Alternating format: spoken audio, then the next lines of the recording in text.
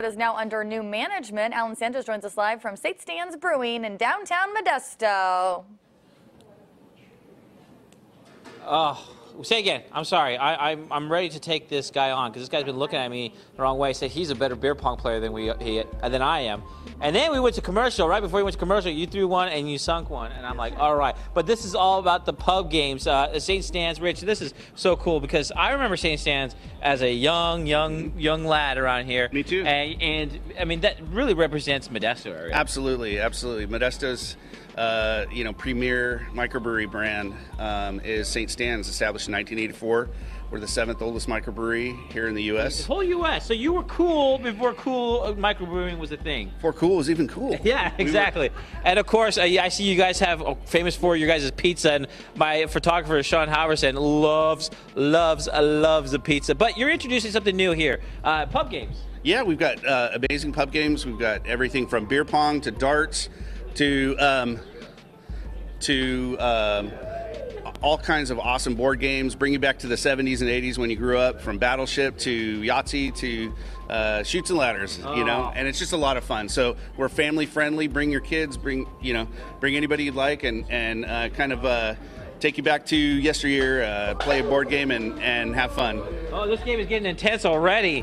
Uh oh. All right, so you just threw. What was, what's a tip? I need a tip on how to do a good beer pong. I'm not very good.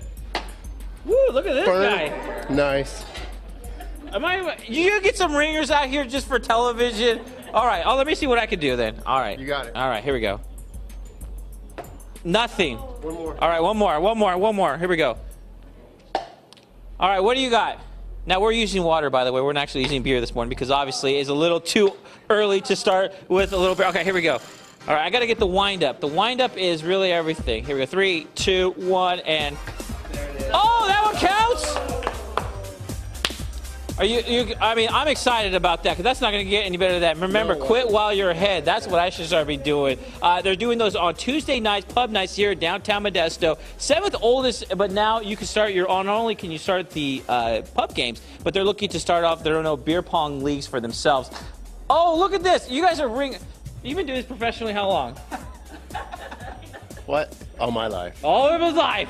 All his life. Uh, pub game starting Tuesday. Check it out for yourself. I'm going to get back into this game and I'm going to get some pizza while I'm here. All right, see what he's got. All right, you got to wait for from downtown. From downtown. Here we go. Three, two, one. Oh, so close.